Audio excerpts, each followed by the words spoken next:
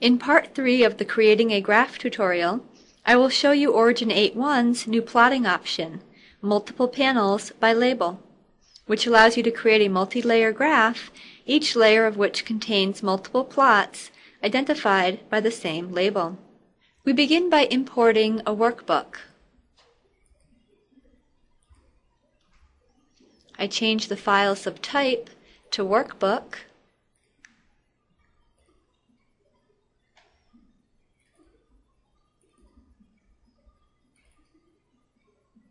I'm going to highlight the entire worksheet and then select Plot, Multi-Curve, Multiple Panels by Label.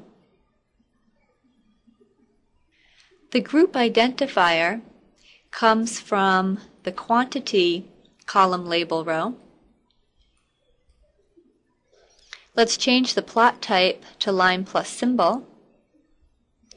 It tells us how many groups total and then the arrangement on the page. We'll leave the default that it picked up as a 3 by 2 panel plot. So I'll click OK. There are only five groups, so it arranges them in the 3 by 2 arrangement, but we only get the five layers.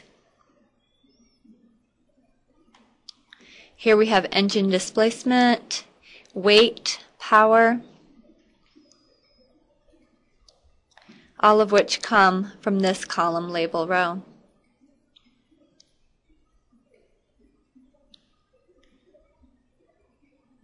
So we're plotting mean, minimum, median, maximum, four data plots in each layer.